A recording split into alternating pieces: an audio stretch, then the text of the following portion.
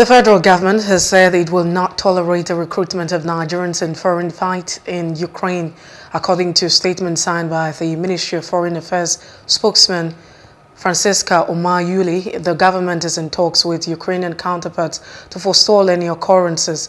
The Ministry of Foreign Affairs had contacted the embassy to verify the speculation, which the Ukrainian embassy refuted, but confirmed that a number of Nigerians had approached the embassy, indicating their willingness to fight on the side of Ukraine in its ongoing conflict with Russia.